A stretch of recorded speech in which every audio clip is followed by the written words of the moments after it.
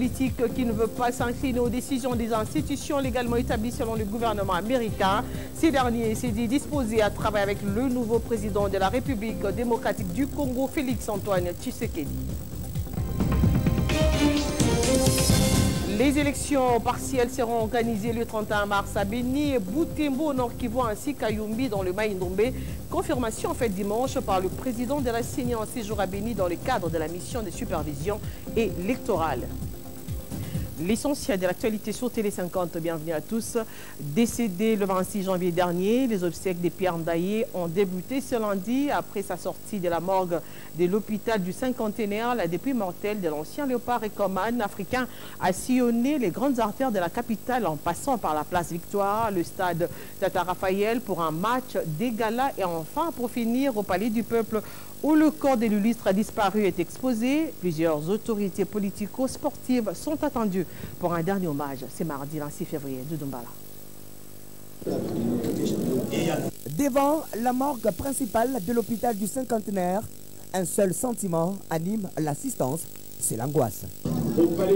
Ici, les membres du mouvement sportif congolais à qui se sont joints les anciennes gloires de 1968, 1974 et ceux des autres générations vont tous rendre les derniers hommages aux meilleurs buteurs de l'histoire de Cannes. Fini ces temps de recueillement, l'heure est de quitter l'hôpital du cinquantenaire pour se rendre au stade Tata Raphaël de la Quétule, site qui a vu exploser les talents de Mutumbula, dit Volvo. Les 13h30, nous voici au temple du Père Raphaël de la commune de Kalamou, où est prévu un programme alléchant avec à la clé un match de gala entre anciens léopards des années 68-74 et les joueurs actifs, et même ceux de la génération du Chan 2009. Mais bien avant, ce sont des hommages dignes, couplés de quelques témoignages vibrants. Ndaye fut un joueur d'exception. Pour preuve, aujourd'hui, il s'en va, le trophée d'invincibilité en main trophée qu'aucun pays n'a su arracher depuis 1974. Au peuple congolais, surtout euh, à nos fervents supporters, hein, bon, de continuer à penser à ce garçon hein, à chaque fois qu'il y aura un match d'un niveau, disons par exemple, international. Oui, s'en suivra ce match d'exhibition, et ce, en présence du ministre des Sports et d'autres invités de marque. Fini ces temps forts, la dépouille mortelle d'Endaye Mutumbula se dirige vers le palais du peuple. C'est ici qu'interviendra la veillée mortuaire de l'icône des Coupes d'Afrique. Les programmes prévoient également une décoration au rang des héros nationaux Laurent Désiré Kabila et Patrice Emerolo Lumumba par le chef de l'État, Félix Tshisekedi.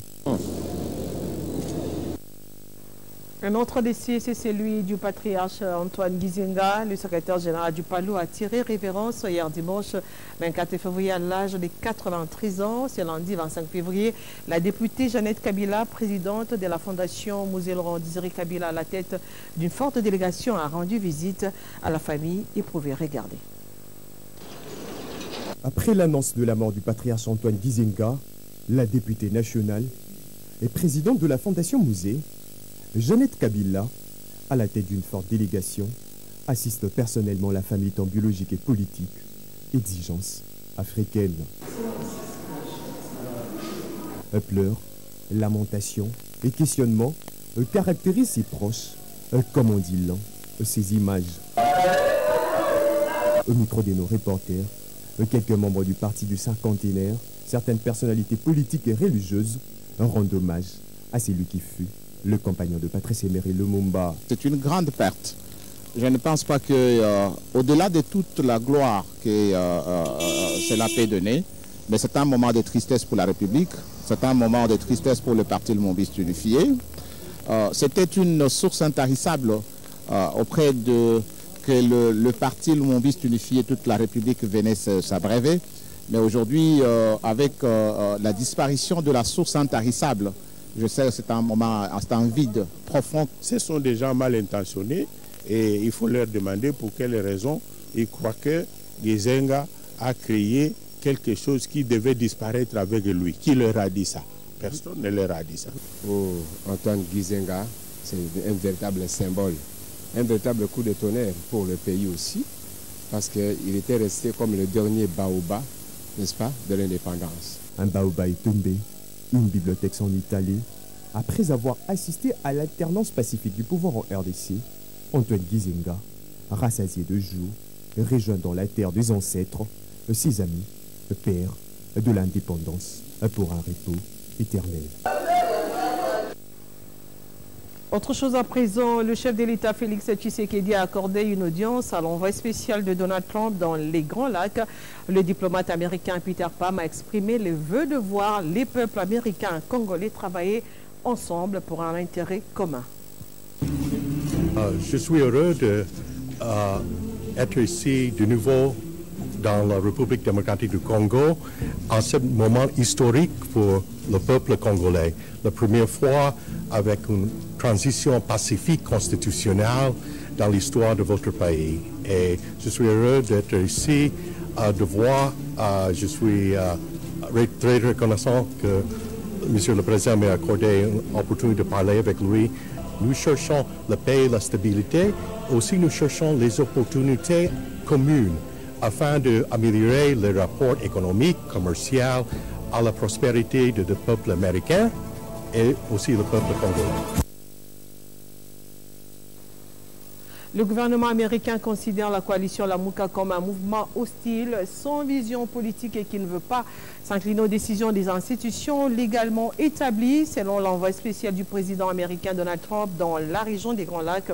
Peter Pam, le gouvernement des États-Unis est disposé à travailler avec le nouveau président de la République démocratique du Congo, Félix-Antoine Tshisekedi. Plus de détails dans ces dossiers de la rédaction. Il n'aurait fallu que quelques mois pour comprendre la politique de la nébuleuse coalition électorale Lamouka, qui hier semblait être soutenue par les Occidentaux, mais aujourd'hui, la donne a changé, surtout avec l'avènement du cinquième président Félix-Antoine Tshisekedi. Pour les USA, Martin Fayoulou n'est pas un homme d'État. Et c'est par la bouche du sous-secrétaire d'État américain aux affaires africaines qui a suivi scrupuleusement les meetings shows de Martin Fayoulou le gouvernement américain constate qu'après la fin du mandat de Joseph Kabila Kabangé, aucune manifestation significative n'a eu lieu contre les résultats de l'élection du président Félix-Antoine Tshisekedi. Et selon les services des renseignements américains, Martin Fayoulou est un leader d'un micro-parti politique et fait détourner à l'intérieur de la RDC sous le label d'une plateforme électorale appelée la Mouka qui n'a aucune existence légale et son parti politique n'enregistre aucune adhésion après son passage dans différentes provinces. Le gouvernement américain a constaté que plus de 80% de la population qui participe au meeting de Martin Fayoulou sont plus des chômeurs. N'ayant rien à faire, elles se présentent par curiosité à des manifestations politiques et retournent à leurs occupations et c'est le cas après son passage à Beni, Boutembo, Goma et plus précisément dans les provinces du Bandundu et Bakongo.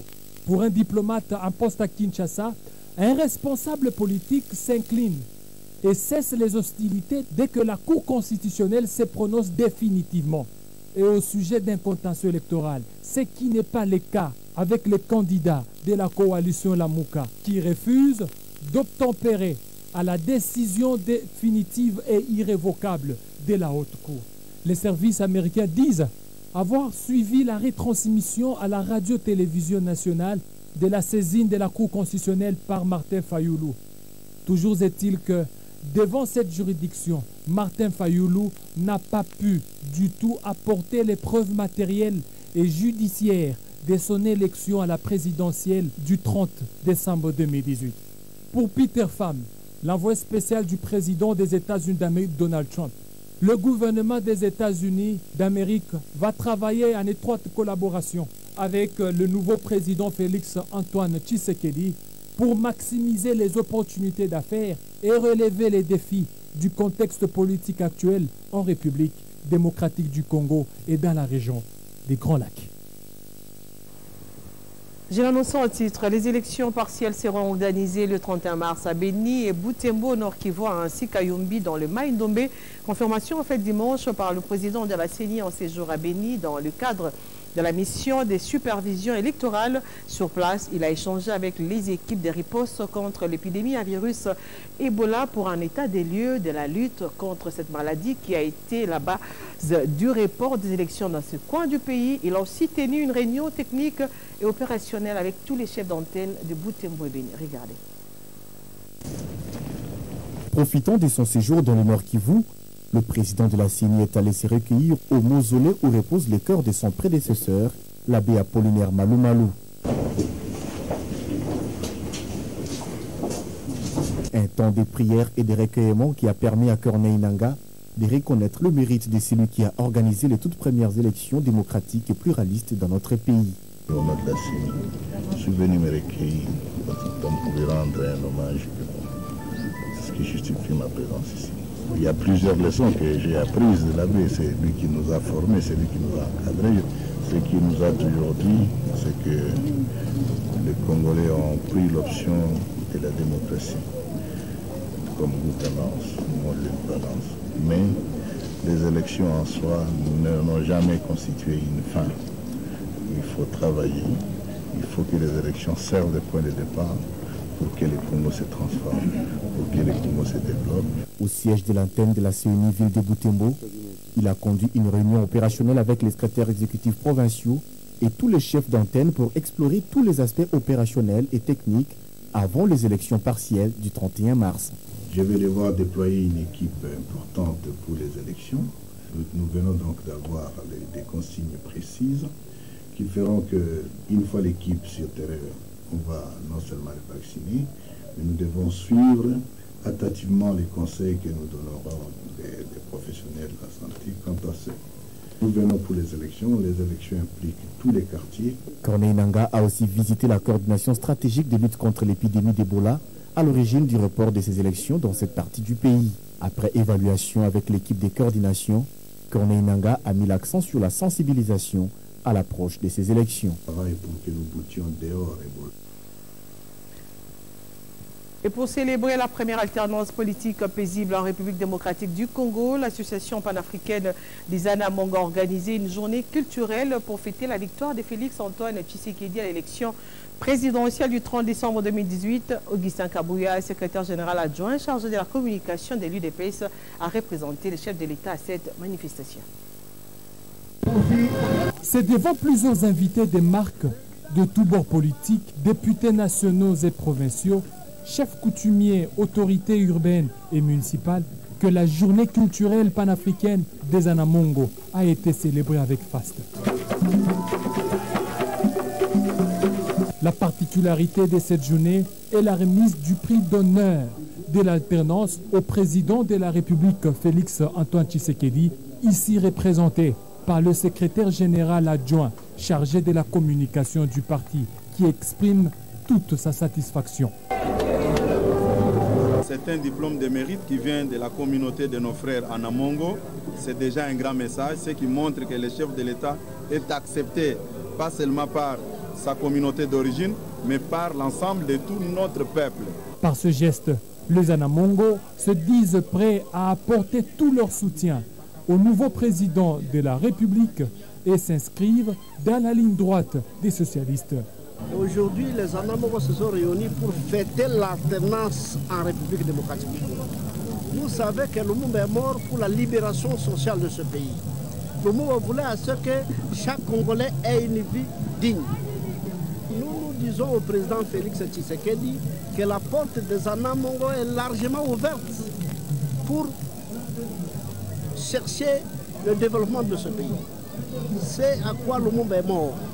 Nous voulons être auprès de lui pour apporter notre pierre à l'édifice de la construction du Congo. Depuis 1960, c'est la toute première fois que les Congolais ont assisté à la passation pacifique et civilisée des pouvoirs entre le président entrant et sortant. Et les Anamongo se réjouissent de ce transfert et se disent fiers d'être Congolais.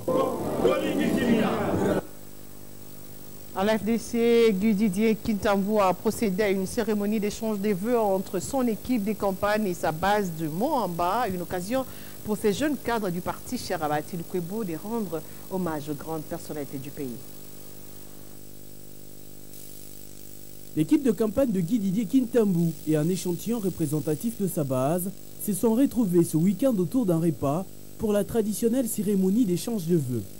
Dans un des pavillons de la foire de Kinshasa, ce cadre de l'AFDC a publiquement présenté ses vœux d'accomplissement et de plein succès au chef de l'État, Félix-Antoine Tshisekedi, tout en rendant un vibrant hommage à Joseph Kabila, pour qui il a une très juste admiration encore à ce jour. Et nous avions profité également de l'occasion pour euh, rendre un hommage mérité à son Excellence, M. Joseph Kabila Kabange, autorité morale euh, du FCC, guide et autorité morale de la République, moi je peux le dire ainsi. Et nous avons profité aussi de l'occasion pour présenter nos sincères félicitations au président euh, élu, euh, Monsieur le Président Antoine Félix Tshisekedi Chilombo. Très reconnaissant quant à la confiance lui accordée depuis toujours, Didier Kintambu a salué le travail abattu par l'autorité morale du regroupement AFDC et Alliés qui a abouti à un résultat extraordinaire. Si euh, euh, notre gratitude hein, vis-à-vis de notre autorité morale, là je cite le professeur Modeste euh, Bati pour son soutien sans faille et euh, son accompagnement tout au long de ces processus. Au-delà des simples retrouvailles, cette rencontre était également une occasion pour ce jeune cadre de la FDC et sa base de dresser un bilan de leur action et projeter de nouvelles idées. Dans le lot, l'on peut compter la mise sur pied d'une nouvelle structure dénommée Cellule d'éducation de formation à la citoyenneté et d'action sociale, dont la date du lancement officiel sera communiquée très prochainement. C'est au tour de leur coordonnateur de la cellule de base spécialisée DGI, Rajabou Djouban, que les membres de cette cellule de base du PPRD ont eu une cérémonie d'échange de vœux. Au cours de cette cérémonie, ils ont été honorés par la présence du SP Jackie Pengui, représentante du SP empêché. Regardez. C'est une cérémonie haute en couleur entre le coordonnateur de la cellule de base spécialisée CBS DGI et le membre de cette structure du Parti du peuple pour la reconstruction et la démocratie. Dans son mot, Raja Boudjouma a d'abord rendu hommage au patriarche Abdoulaye Ndombassi, un homme emblématique, combattant de la première heure, qui a sacrifié toute sa jeunesse et a passé plus de clairs de temps de sa vie en exil. Pour cet homme valeureux, qui dira tout son passage, si c'était des hommes n'a fait que défendre les valeurs de la gauche nationaliste. L'homme a ensuite rendu un vibrant hommage au président sortant Joseph Kabila Kabangé pour avoir permis la passation du pouvoir civilisé en RDC, un modèle de la démocratie en Afrique. Il est important de rappeler que l'alternance paisible que nous venons de vivre a un artisan principal. J'ai cité le président Joseph Kabila Kabangé. Dans sa parole, le coordonnateur de la cellule de base spécialisée CBS DGI a félicité le président Félix-Antoine Chilombo Tshisekedi car D'après lui, il a compris que le développement de ces pays ne peut se faire que par la paix. La complicité qui règne entre le président Kabila et le président Tshisekedi est à encourager, car l'espoir de notre pays repose sur cette complicité entre ces deux leaders. C'est dans une ambiance bon enfant, en présence de Jackie Pengue, SPA du PPRD, représentante personnelle du secrétaire permanent Ramazani Chadari empêché qui s'est clôturé cette rencontre entre le coordonnateur de la cellule de base spécialisée, ECBS DGI, Raja Boudjouma, et le membre de cette structure. Rendons-nous en province de la parole à l'acte. Richard Mouyej, le gouverneur du Lalaba, a procédé samedi dernier au lancement de l'éclairage public dans la cité de Diour à Kolosi, chef-lieu de cette province. Vous allez le voir, une scène de liesse a emporté les habitants de cette partie du pays. Majeur commentaire quartier d'Iour, quartier d'Iour, à partir de lundi, foreste Turushaku Muripa, atanja Lubumbashi sur 2 km. C'est une promesse faite lors de sa campagne électorale et qui a vite pris corps à la veille. Après 20 jours de dur labeur, les ingénieurs commis pour ce travail sous cette avenue Dominique Diour, appelée à l'époque 3Z, font le dernier réglage pour se rassurer de leurs installations électriques sous ces poteaux placés comptés au nombre de 54.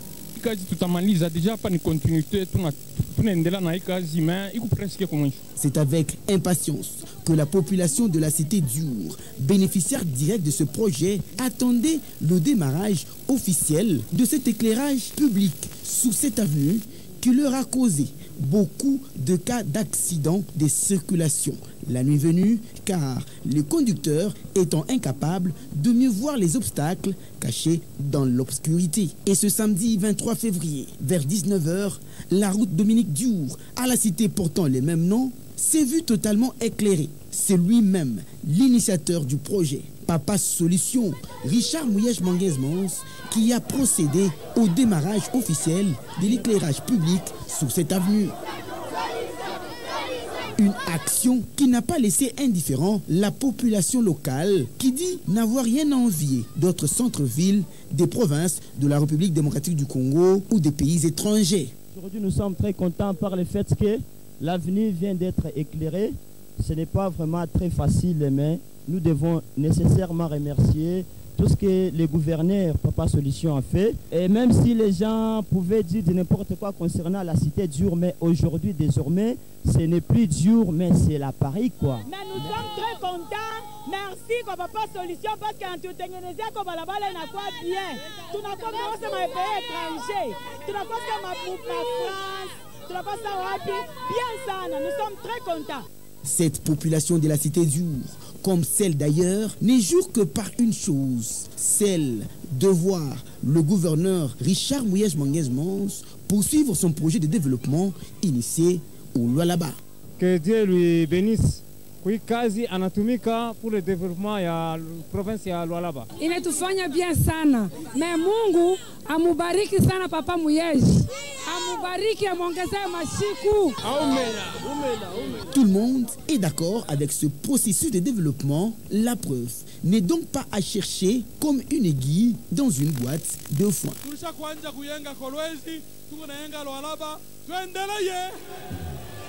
Bale wanapenda tuendelee, waweke mikono yulu, waweke mikono yulu, waweke mikono yulu. Et en visite au cassé central, le pape patriarche de l'église orthodoxe grecque, sa béatitude, Théodore II a été accueilli à Kananga par le couple gouverneur Denis Kampai Chimbombo, accompagné des quelques membres du gouvernement provincial. Partout il est passé, l'autorité de l'église orthodoxe a été accueillie par de foules innombrables qui l'a béni pour la paix et le développement de la province. Arrivé à Kananga ce vendredi 22 février 2019 à bord du régulier Airbus Patrice Emery Lumumba, le pape et patriarche de l'église orthodoxe grecque, sa béatitude Théodore II, est accueilli par le gouverneur Denis Kamba Chimbumbo, accompagné d'un comité restreint circonstancié. Sous une pluie fine, signe de bénédiction, le long cortège papal s'ébranle jusqu'à la cathédrale Saint-André, où une foule de chrétiens en liesse jouait les coudes pour voir et toucher le souverain pontife. Reçu en audience le lendemain par Denis Kamba Chimbumbu pour les civilités, le prélat orthodoxe explique l'objet de sa mission à Kananga. Je suis très heureux d'avoir euh, visité le gouverneur qui est un avenir pour le Congo. Et surtout pour le Kassai. Dès demain, l'église orthodoxe de Kananga euh, aura son évêque, son archevêque. Que Dieu soit avec vous. La grand-messe d'intronisation du nouvel archevêque de l'église orthodoxe grecque du Grand Kassai, Monseigneur Théodose, à qui Denis Kamba et Chimbumbu promet assistance et franche collaboration.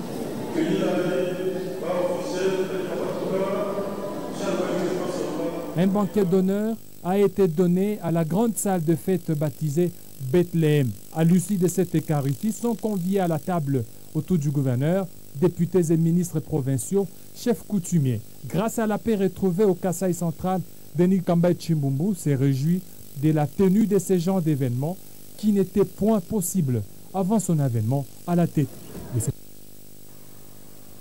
Élection du gouverneur, la jeunesse du Cassel central contre les pratiques de corruption et des trafics d'influence qui se passent dans leur assemblée provinciale pour élire un candidat gouverneur. Dans une déclaration prononcée ce lundi dans la capitale, elle réclame la mise en place des mécanismes de participation des jeunes aux instances de prise de décision. Monsieur le Président de la République, la jeunesse du Cassel central qui a tant milité pour votre victoire à travers des marches pacifiques, des villes mortes et surtout qui a été victime des atrocités meurtrières du mouvement politico Kamouinan Sapou, attend de votre part une exceptionnelle attention en termes de récompense à ces sacrifices. C'est pourquoi nous nous permettons de vous demander le parachèvement des travaux de la centrale hydroélectronique de Katende et la route Kalamba, Kalambambouji permettant le désenclavement de la province. La mise en place d'une politique de création d'emplois pour les jeunes, la construction des centres de formation professionnelle et d'encadrement des jeunes pour lutter contre la délinquance, spécialement en ce qui concerne les jeunes non scolarisés. La mise en place des mécanismes de participation des jeunes aux instances de prise de décision et la création d'un fonds national pour la promotion des activités d'encadrement des jeunes et la vulgarisation de la politique nationale de la jeunesse de notre pays. Et pour arriver à la réalisation des attentes citées si haut, la jeunesse du Cassé central dit non au monnayage et trafic d'influence à l'élection du gouverneur comme cela se fait déjà sentir avec certains candidats qui proposent 20 000 dollars 10 000, 15 000 dollars, plus de véhicules aux grands électeurs. Nous demandons un gouverneur qui répond dans la logique de votre vision, vision et non un corrupteur. Et dans le Haut-Katanga, la députée provinciale Immaculée Bagabé Batete remercie sa base pour son élection. L'élu de Mitoaba tient à l'accomplissement de ses promesses, notamment l'amélioration des conditions de vie de la population de ces coins du pays.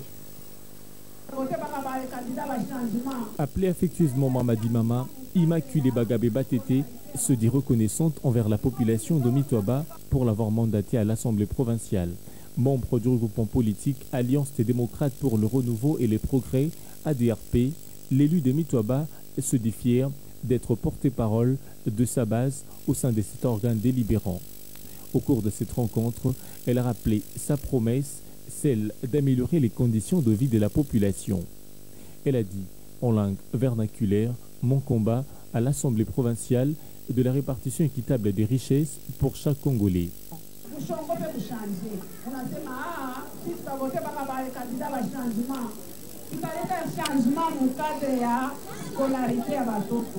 Immaculée Bagabé Matete tient à soutenir le coopératif de sa circonscription électorale pour lutter contre la pauvreté.